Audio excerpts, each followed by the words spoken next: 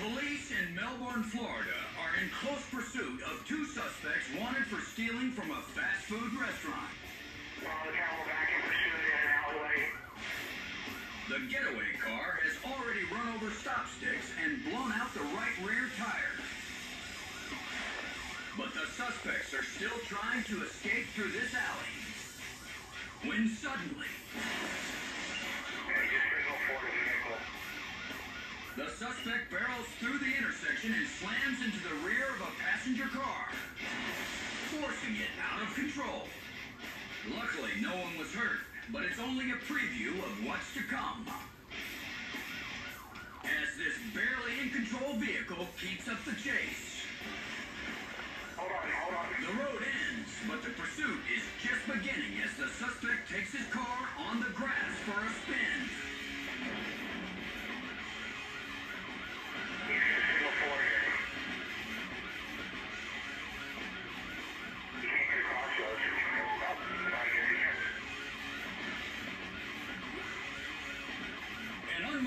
car leads the chase as the suspect rolls over some railroad ties and finds the road again.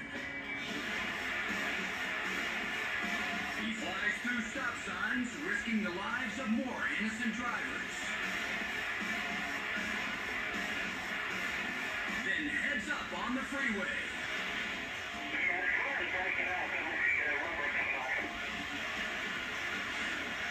The dashboard cam in the lead chase car rolls police look for a way to stop this suspect. But the driver is not only refusing to stop, he goes on the attack.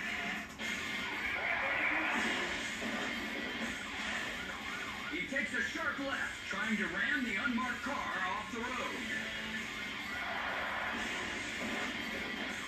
Here's how it looks to the cop behind the wheel of that car. The officer pushes back and recovers.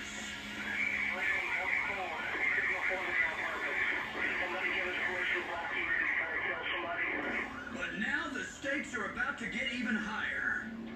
With a maniac all over the road on three wheels and a slow moving gas tanker truck dead ahead. The lead officer is between the suspect and the truck, but the driver refuses to play along. He floors it.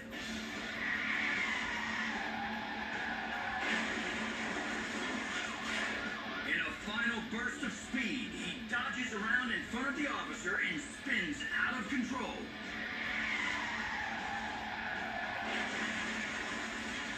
He never reaches that tanker truck, but he does find a light post on the side of the highway. front end of the crumpled car you're looking at.